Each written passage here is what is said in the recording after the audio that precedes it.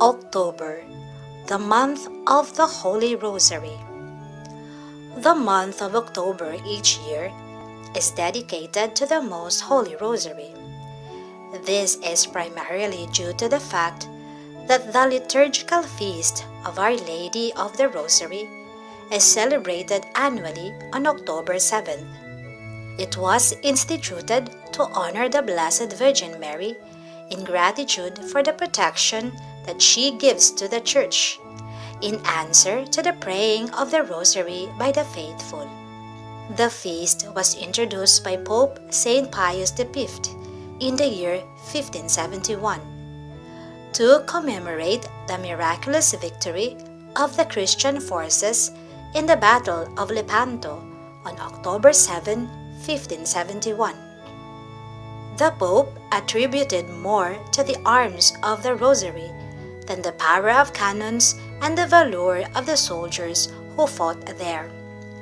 Legend tells us that the Rosary, as a form of prayer, was given to Saint Dominic by Mary, the mother of our Lord, who entrusted it to him as an aid in the conflicts with the Albigensians. The Dominican Pope St. Pius V did much to further the spread of the Holy Rosary, and it thereafter became one of the most popular devotions in the Christendom. It was the same Pope St. Pius V who in 1569 officially approved the Rosary in its present form, Consueverunt Romani Pontifices. It had been completed by the addition of the second half of the Hail Mary and the Glory be to the Father at the conclusion of each mystery. Middle Ages where it came into being in various medieval monasteries as a substitute for the divine office for the lay monks and devout lay persons who did not know how to read.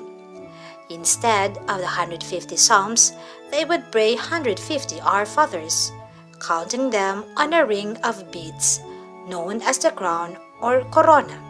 With the growth of popularity of Marian devotion, in the 12th century, the Psalter of the Blessed Virgin Mary developed now substituting 150 Hail Marys in place of the Our Fathers. The practice of dedicating the entire month of October to the Holy Rosary developed toward the end of the last century. Let us consider this beautiful prayer of the Rosary as a means that we can use in order to draw closer to Jesus and Mary by meditating on the great mysteries of our salvation.